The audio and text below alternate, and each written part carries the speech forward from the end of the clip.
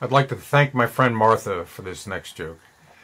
And um, her parents may have had something to do with it, too. I wouldn't be surprised. She gets all the credit. All. all the credit. Two atoms are walking down the street. Excuse me. And the first one says, I think I've lost an electron.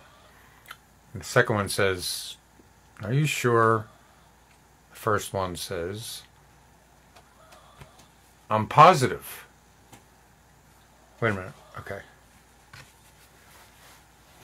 Two atoms walking down the street. Okay. Two atoms are walking down the street. One loses an electron. No, wait a minute. One says to the other, I think I've lost an electron. The other one says, Are you sure?